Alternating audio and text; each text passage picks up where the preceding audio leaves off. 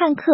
胡海峰履新下席表中，太子党试图多重诡辩组图。看中国记者李文龙综合报道：胡锦涛之子，前浙江嘉兴市长胡海峰，本月出生任中共浙江省丽水市委书记。日前，他在上任后首次公开活动中，特别引用习近平在丽水言论。中共太子党近年成退场之势，胡海峰被视为最后一个希望。但这次升职过程颇有诡异情节。胡海峰任新职，立马表中引用习讲话。香港明报昨日十日引述浙江丽水日报九日的报道，指出胡海峰六日在遂昌县调研时表示，全市上下要紧紧围绕中共总书记习近平在长江经济带发展座谈会上。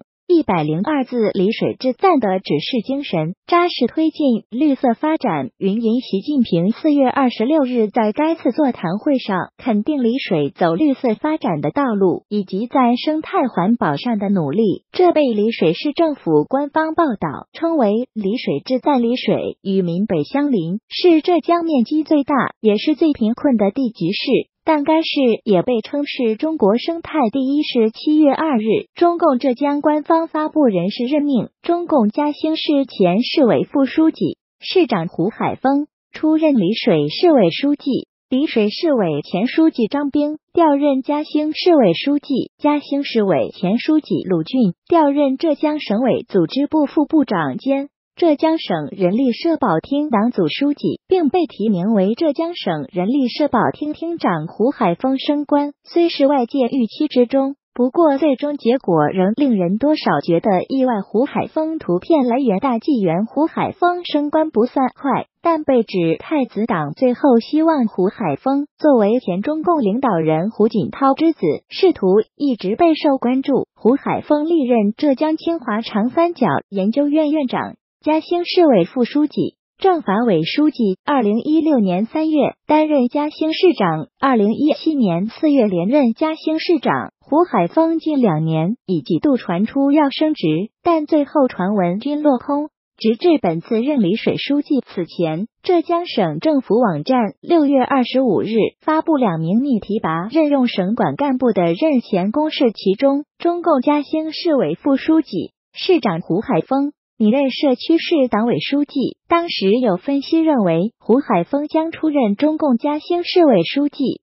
但最后坐实调任丽水。尽管出生于一九七二年十一月的胡海峰，此次调升后成为浙江地级市中最年轻市委书记，但他仍是正厅级。至此，胡海峰担任厅官已超过八年。胡海峰早在二零一零年四月。不满三十八岁的他，就担任了正厅级的清华长三角研究院党委书记，而现在他担任的丽水市委书记仍属正厅级。对于胡海峰的仕途发展，外界一直有多种分析。台媒中央社。曾引述消息人士的话说，胡海峰升官路不算快，的主要原因是胡锦涛不希望自己的儿子受到快速提拔。港媒《东方日报》则认为，胡海峰的仕途走向不可限量，在五十岁之前，胡海峰有可能晋升为副部级。长远来看，有机会问鼎副国级。胡海峰被看好的原因，除了其父胡锦涛和习近平是政治盟友外，胡海峰还有一个优势，即与清华系有一定的关联。胡海峰长期在清华大学的校办企业工作，当时的清华大学党委书记是现在任中共政治局委员兼中组部部长的陈希，陈则是习近平的同窗和目前的重臣，而胡海峰。曾任浙江清华长三角研究院党委书记，该院是由陈希与习近平共同主导下成立的。法广七月二日援引报道称，在中共太子党没落之际，胡海峰。被指是中共国家领导人家族中相对低调和较具潜力的代表。报道援引消息指，胡进入中南海被指几乎指日可待，是中共太子党最后的希望。习近平上台后，直至今年上半年，外界发现中共太子党已纷纷从党政军和国企的明星位置退场，包括毛泽东之孙毛新宇、前总理李鹏之女李小玲。前总理朱镕基之女朱燕来、邓小平女儿邓楠等人。目前胡海峰公开在官场逆势升官，故而成为关注点。中国问题专家恒河早前对美媒表示，胡锦涛儿子胡海峰能够在中共人事布局中平安的脱颖而出，有两大原因：一是胡锦涛没有野心，向来以循规蹈矩名声在外，而且他还帮助习近平清洗江泽民势力，对于习近平打压团派也视而不见。二是很多红二代在商界没有从基层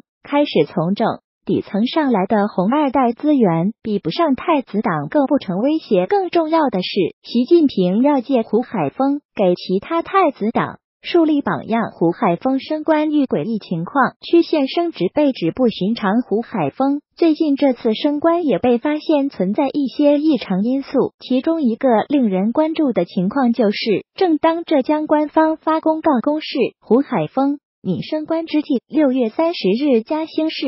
发生民众到市府示威抗议征地，并报警民冲突，数百民众冲进政府大楼。尽管胡海峰升迁看起来没有受到影响，不过嘉兴市委书记鲁俊、市长胡海峰这次同步调离，仍然引起一些猜测。另外，胡海峰被公示升职期间，网上突然曝光。他有两个官方版本年龄，且留有北京背景的多维网进行炒作。其中一个版本是在今年一月三十日，浙江选出的九十四名浙江省出席第十三届中国全国人大代表名单中，中共人大网站上的代表信息显示，胡海峰的出生日期为一九七二年十一月。还有一个版本。是浙江省政府新闻门户网站发布的胡海峰信息显示，他一九七零年出生。目前，该网站胡海峰出生日期已经显示为一九七二年十一月。